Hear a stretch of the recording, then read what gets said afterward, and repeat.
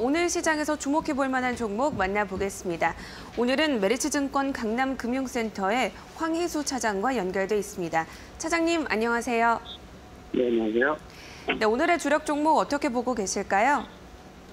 어, 오늘은 그 한화 에어로스페이스와 HFR, 레인보우 로보틱스와 동운아나텍 말씀드리겠습니다.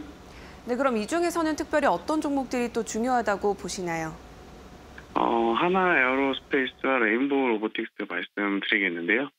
어, 우선 한화 에어로스페이스 같은 경우에서는 그 4분기부터 어, 폴란드향 그 해외 그 수출 물량 매출이 4분기부터 본격적으로 반영이 되기 시작하면서 올해 4분기와 내년 상반기까지 그 높은 매출과 영업이익 성장이 기대된다라는 것이 긍정적인 부분이다라고 말씀드릴 수가 있겠습니다.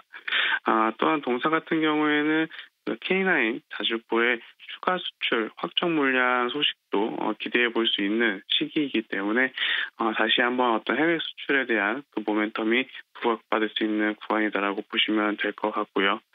어, 또한 방산 사업 이외에도 어, 내년부터는 그 한국형 발사체 어, 위성 사업이 어, 국산화에 본격화될 것으로 전망이 되고 있는데 이런 그 위성 사업 국산화에서 가장 중추적인 역할을 맡기, 맡게 되면서 이에 따른 위성 사업 그리고 우주 산업으로서의 성장성도 어, 부각받을 수 있는 모멘텀이 있다 이렇게 말씀드리겠습니다. 아, 두 번째는 레인보우 로보틱스 말씀드리겠는데요.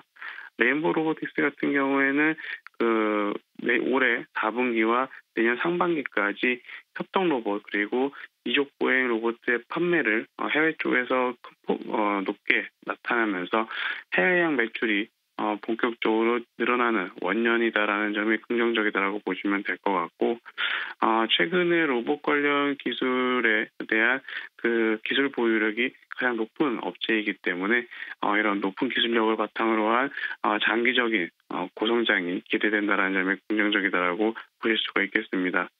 또한 동사 같은 경우는 그 내년에 북미 쪽과 유럽 지역을 중심으로 어, 로봇 판매량이 확대될 것으로 전망이 되고 있고요. 이에 따라서 어, 내년 같은 경우 큰 폭의 이익 성장이 기대된다 이렇게 말씀드릴 수가 있겠습니다. 지금까지 메리츠증권 황혜수였습니다.